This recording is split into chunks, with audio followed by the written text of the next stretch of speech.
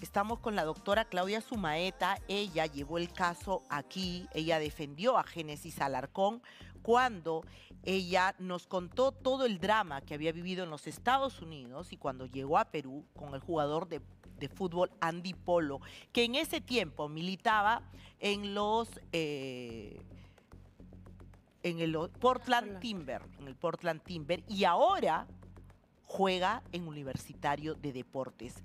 Cuando nosotros hablamos de este caso, en Universitario de Deportes lo limpiaron de polvo y paja. Y nos dijeron en Estados Unidos no hay ningún tipo de sanción para él. ¿Qué dirán ahora?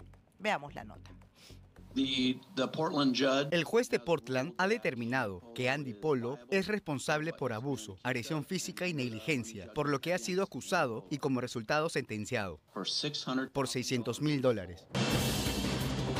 Más de medio millón de dólares tendrá que pagar el jugador de universitario Andy Polo a la madre de sus hijos, Génesis Alarcón, por haber sido declarado por la justicia norteamericana culpable de agresión física en contra de ella.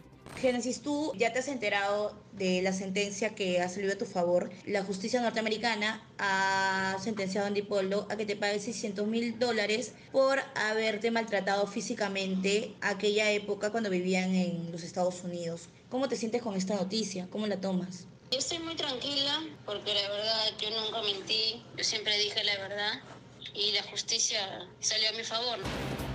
Recordemos que Génesis decidió denunciar al futbolista a inicios de este año en nuestro programa, mostrando estas fotos y audios escalofriantes que demostrarían la agresión vivida delante de sus propios hijos. Oye, ya, vamos a hablar. ¿Qué te pasa? ¡Los bebés, oye! Ya. Sube. No, no suban.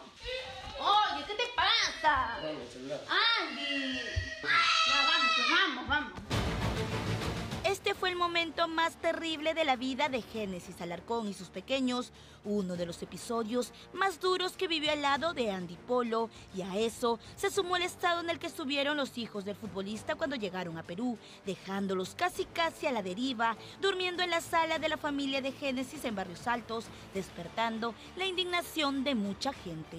He tenido que juntar el mueble con una cama que tenía mi tío, que nos ha prestado. Y es que esta agresión que ya tiene una sentencia sucedió en los Estados Unidos cuando ambos vivían en el estado de Oregon, porque él jugaba en el equipo de los Portland Timbers. Me comenzó a jalar de los brazos porque quería arrancharme el celular, me jaló el cabello, me caí al piso y todo delante de mis hijos. Como tuve una amiga, que se hizo una señora, una estilista, se hizo mi amiga, le digo, llamen a la policía porque necesito ayuda, tengo miedo. Pasó creo que 10, 15 minutos y llegó la policía. Esta confesión fue considerada por la justicia gringa en el proceso de investigación que se le abrió a Antipolo en ese país, como figura en estos documentos donde están escritos los cargos detalladamente. El 23 de mayo del 2021, el señor Polo causó un contacto físico dañino con la señora Larcón, incluso agarrándola violentamente por el brazo, tirando de ella por el pelo contra su voluntad y empujándola al suelo, causándole dolor y malestar. Al señor Polo se le permitió ser liberado en su hogar, debido al plan de seguridad que fue prometido por los Portland Timbers. Seguridad que según este documento el equipo de Polo en ese entonces no cumplió, por lo que se produjeron más abusos domésticos, hechos que la propia Génesis nos contó.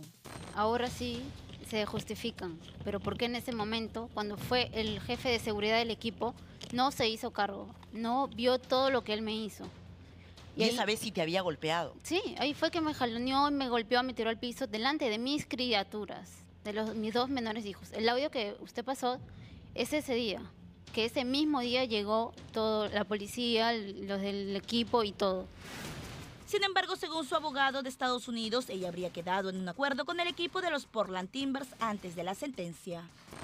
A ellos se les demandó y ellos decidieron arreglar de una forma confidencial con Miss Alarcón, todo lo contrario sucedió con Andy Polo, que junto a sus abogados siempre dijeron que el jugador no tenía problemas en los Estados Unidos.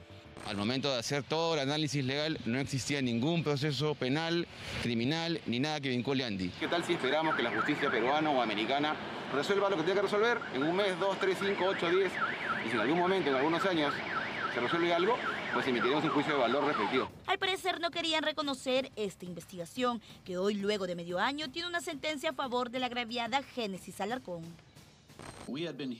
Hemos estado escuchando de muchas fuentes en Perú que él estaba diciendo a la gente que todo estaba bien, pero todo no estaba bien. Y por eso es que él tiene una sentencia. El juez también determinó que él abusó y atacó físicamente a la señorita Alarcón y le causó daños.